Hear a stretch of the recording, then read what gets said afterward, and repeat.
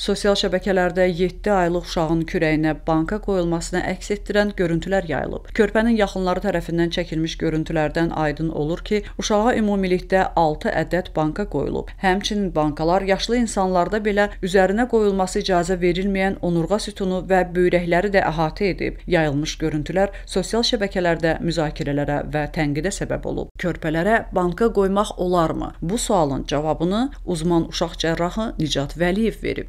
Ümumiyyətlə e, körpə uşaqlarda alternativ tipdən qaçınmaq lazımdır. Yəni e, körpə uşaqlar əslində sübut edilməmiş tibbi müdaxilələrdən zərər gördükləri tibbi olaraq təsdiq edilmişdir.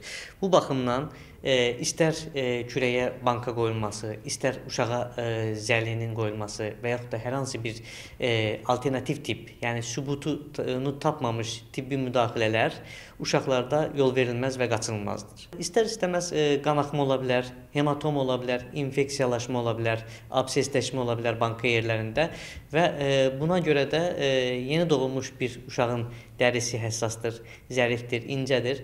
Ona e, nəinki banka qoyulması və yaxud da banka qoyulub çərtib banka qoyurlar bəzən. Bunların edilməsi e, yol verilməzdir. Eyni zamanda həkim heç bir elmi əsası olmayan, tibbə dayanmayan müalicələri evdə uşaqlar üzərində tətbiq etməyi qəbul edilməz və təhlükəli olduğunu vurğulayıb.